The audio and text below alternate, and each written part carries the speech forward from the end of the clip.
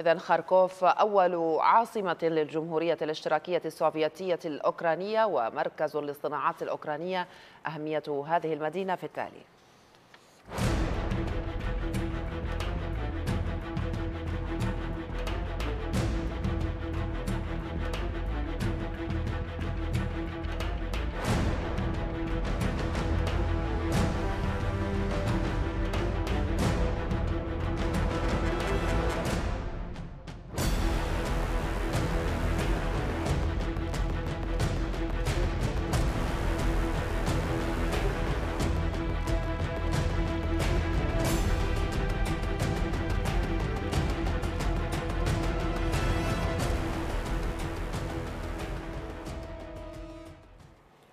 تعليقا على طلب الرئيس الأمريكي من الكونغرس تخصيص مساعدات مالية إضافية إلى أوكرانيا.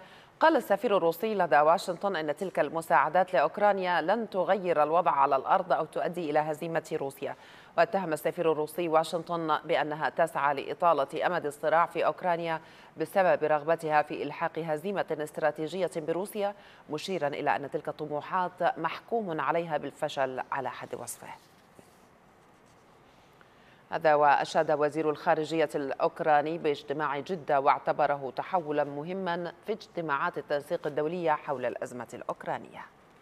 I believe the, the meeting in Jeddah was a breakthrough because for the first time we brought together uh, countries representing entire world, not only Europe and, uh, and North America, but entire world.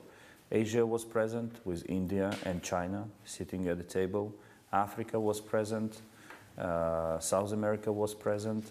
So, um, and also it is important to note that between the meeting, the first meeting of this coordination group in Copenhagen a month ago and the meeting in Jeddah, the uh, number of countries willing to participate has increased dramatically.